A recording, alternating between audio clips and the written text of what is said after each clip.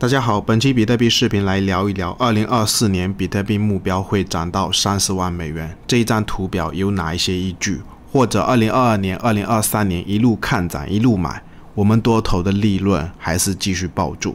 那这两天也是在猜测这一个短线上升三角有可能第三个低点会启动。现在比特币是突破了四万四千四百四十四美金。但是短线又有背离，我们要怎么判断？包括下一个买点，等下几张图表分享给大家。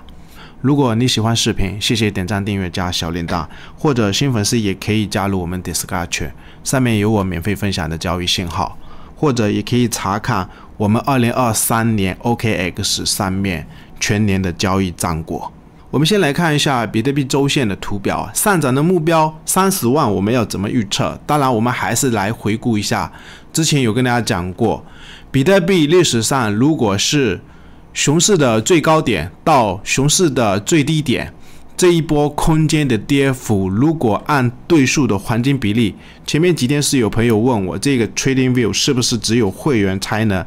开出来这个对数的黄金比例，并不是哦，朋友们可以把这个对数的这个值先给它打开，然后你去观察一下比特币历史上，比如比特币在二零一九年的这个高点一万四左右，然后到比特币疫情的这个低点接近四千美金附近，它后面比特币涨到二零二一年的六万九的高位。这边有一个对数的黄金比例，就是二点二七二的位置，有可能历史上有这种规律，它一波熊市的空间，或者是后面上涨的空间，它的对数黄金比例会在二点二七二，还有这个位置下方，朋友们就可以把这一个对数黄金比例给它打开，而不是。默认的灰色状态啊，然后现在的比特币，我目前也是一直在判断，因为时间已经进入二零二四年，那前面的涨幅我们都不管，我们在乎的是下一步比特币在二零二四年会不会涨到三十万美元。当然，我们要观察一下更高的高点，也是跟大家讲过，就是这个对数黄金比例六万九到十五 K 的低点，我们去观察一下它二点二七的位置是在。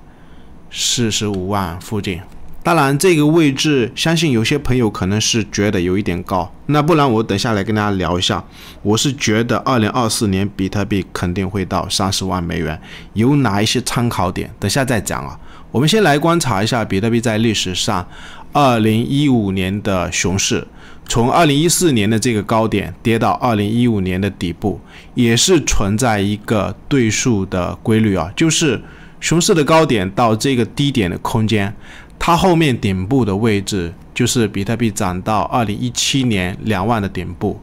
这一个对数黄金比例二点二七也是非常接近这个两万附近啊。或者是我们再观察一下比特币在二零一二年的底部，也是有存在这个规律啊。我们可以观察一下比特币当时在二零一一年的顶部到二零一二年的这个底部。它后面价格牛市涨上去，最终顶部的高位，大约价格是在一千两百美金附近，也是存在这个对数黄金比例空间涨到二点二七二的位置，目标差不多也是在一千一百美金附近。所以现在我也是在思考，比特币二零二四年有没有可能会不会涨到四十万美元？我的观点有可能会不会在二零二五年，但是二零二四年我是相信比特币肯定会突破十万美元，有没有可能去三十万美元？那我们观察一下，目前时间是进入二零二四年，而且这个位置距离比特币产量减半的时间目前是剩下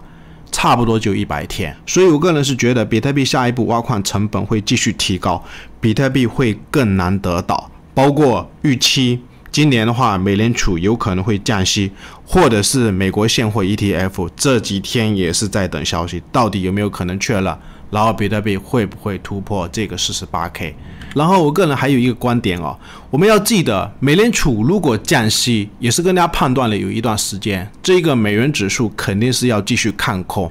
那美元指数继续跌的情况下，我相信会有更多国家的那一些外汇。因为可以换到更多的 USDT，会进场推升这个比特币，所以比特币后面有非常多的利好的预期。我的观点是我们尽量看十万美元以上。那三十万美元的依据，我们来参考历史上比特币减半之后，它上涨的时间会有多快啊？我们可以看一下，二零二零年这个位置产量减半，它上涨的时间是不到十个月的时间，在这个位置，比特币涨了差不多有七倍啊。或者我们可以观察一下，当时比特币在。一八年的熊市就是这个位置，也可以算是一个 N 型的高点。跟大家讲过有一段时间嘛，N 型如果突破，有可能比特币历史上会再涨十倍。所以我们在观察比特币在二零一九年的牛市第一波的涨幅，它到这个位置是涨了超过三倍啊。或者我们可以观察一下，在这个位置，就是它第一浪的涨幅从三千美金涨到这个位置。差不多是在一万附近啊，或者是这个 N 型的高点，差不多是在一万。然后产量减半的时间是在这个位置，我们可以观察一下，它横盘了有一段时间，就是大约从一万开始计算到十个月的时间，这个高点的位置，比特币是涨到六万五。所以我现在也是在思考，今天早上比特币是突破了四十五 K，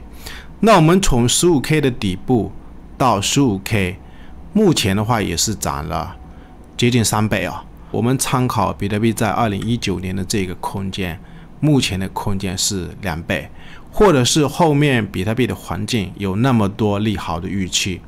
那在产量减半之后，我是相信比特币如果有一个下跌，希望朋友们有资金要继续买。但是如果它不跌的情况下，我个人是一直在计算，从四十五 K 开始。我们可以观察一下，它后面这个产量减半时间是用了十个月，它就涨了七倍。那如果产量减半之后，四月份开始，或者是五月份还是六月份开始，比特币再涨个十个月，有没有可能涨七倍的情况下，四十五 K 你去乘以七，差不多就是三十万美金附近啊。然后我们再看一下比特币的日线哦，因为这几天是在判断。上升三角这个低点不能再破了，有可能这个位置如果有消息配合，因为这几天消息满天飞，有可能 ETF 马上要出来。不过我的观点，明天早上八点的时候我们要去观察，就是这个四十四点四 K 收盘是最好能给我站上，或者是这个位置有朋友在问，短期是有一点背离哦。不过我的观点，背离趋势大于且，有可能它也是会继续涨。或者我们可以观察一下，就是下一步比特币价格能不能到四十八 K 接近四十九 K 的高位，我们到时候观察一下这个位置指标会不会背离，会不会有一个中线的盘整，或者是中线的回撤。因为我们观察一下以往的历史经验，比如比特币今年的六月份，当时涨到这个位置也是一个高点，一个高点比前面的一个高点要高，就是价格在上升。然后它指标也是在背离，后面是有一个中线的回撤，或者我们可以观察一下，比特币在今年的三月份也是高点高点在创高，然后这个位置 K D 指标是比前面的这个 K D 指标是要低的，所以我们观察一下它后面价格是有一个中线的回撤，所以现在如果要继续买的朋友，我的观点是期货。你要买的话，或者要搞，昨天就应该搞，止损可以设在这个位置。但是现货，我的观点还是不反对。如果这个位置还在问期货还能不能做，我是相信有可能还会有空间。但是这个位置如果要继续做多，你追进去，我的观点止损就设在这个高点附近啊。最后还是一样，可以订我们的 YouTube。